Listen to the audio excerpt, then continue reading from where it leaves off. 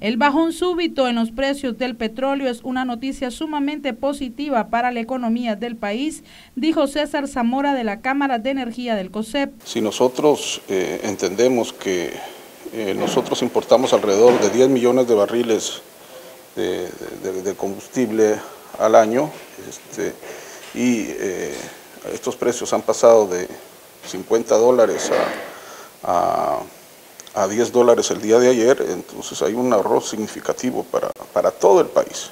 Entonces en ese sentido hay una coyuntura eh, que es producto de eh, los niveles de, de, consumo bajos de los combustibles alrededor del mundo. Entonces es, un, es, un, es una bendición para el país porque nosotros no producimos eh, petróleo y somos consumidores de, de, eso. Somos consumidores para, para los temas de movilidad, para carros y, vehículos y también una pequeña parte, alrededor de 2 millones de barriles, se ocupan para la generación eléctrica del país.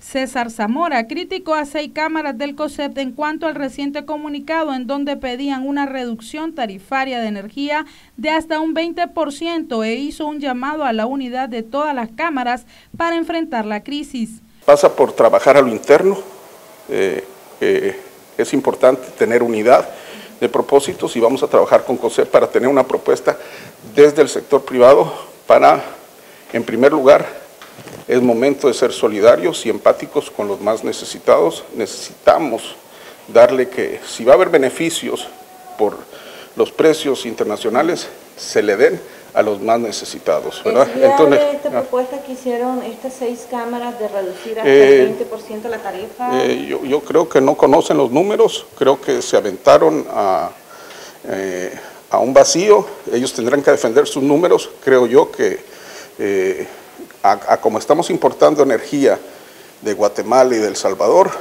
a, precios de 95 dólares cuando nosotros podemos producirlos a, 50, no es viable esa reducción, ya lo hemos manifestado anteriormente, ¿verdad? Entonces, que defiendan ellos su propuesta de, y que lo digan con números y está bien, nosotros sí, si eso es válido, nosotros lo defenderemos, pero tiene, pasa por una discusión interna dentro del COSEP para que todas las cámaras apoyemos en esa misma dirección. Para Noticias 12, Castalia Zapata.